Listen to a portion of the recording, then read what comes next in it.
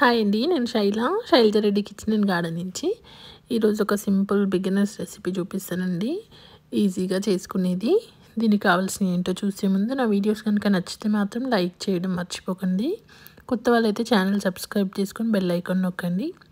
దీనికి నేను ఇక్కడ ఒక ప్యాన్ పెట్టుకుని ఒక రెండు టేబుల్ స్పూన్స్ అంతా నూనె వేసుకున్నానండి. నూనె వేసుకున్న తర్వాత పొడుగ్గా తరుకుని ఒక పెద్ద ఉల్లిపాయ మీడియం సైజ్ అయితే ఒక రెండు వేసుకోవచ్చు. వేసేసుకొని దీనిలోకి ఒక రెండు రెమ్మల కరివేపాకు కూడా వేసేసుకొని ఇవన్నీ బ్రౌన్ అయ్యే వరకు కరివేపాకు క్రిస్పీ అయ్యే వరకు వేయించుకోవాలండి. ఇది వేసుకున్న తర్వాత దీనిలోకి ఒక టీ స్పూన్ అల్లం వెల్లుల్లి పేస్ట్ కూడా వేసుకోవాలి. కావాలంటే జీలకర్ర వేసుకోవచ్చండి కొంచెం ఎక్కువ వేసుకున్నా కూడా బాగుంటుంది. జీరాలు లాగా ఉంటుంది.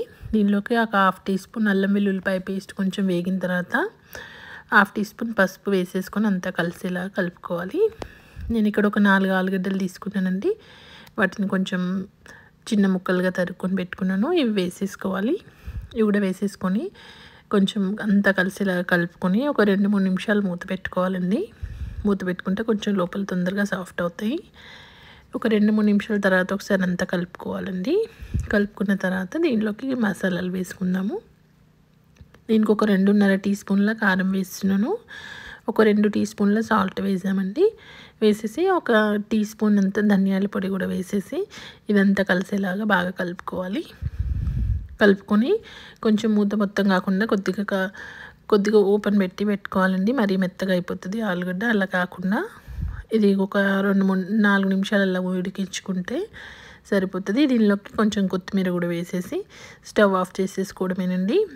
ఆలుగడ్డ లోపల తొందరగా ఉడికిపోతుందండి. మూత పెట్టి ఉడికించుకుంటే ముందు మూత పెట్టేసి మసాలాలన్నీ వేసిన తర్వాత కలుపుకుంటూ ఒక మూడు నాలుగు నిమిషాలు వేయించుకుంటే కర్రీ రెడీ అయిపోతుంది. ఇలా టేస్టీ కర్రీ తొందరగా రెడీ అయిపోతుందండి. పిల్లలు కూడా నచ్చుతుంది. అంతే అండి.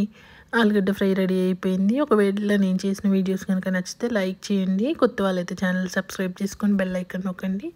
అప్పుడే నేను పెట్టిన వీడియో నోటిఫికేషన్స్ మీకు వస్తాయి. Thank you for watching.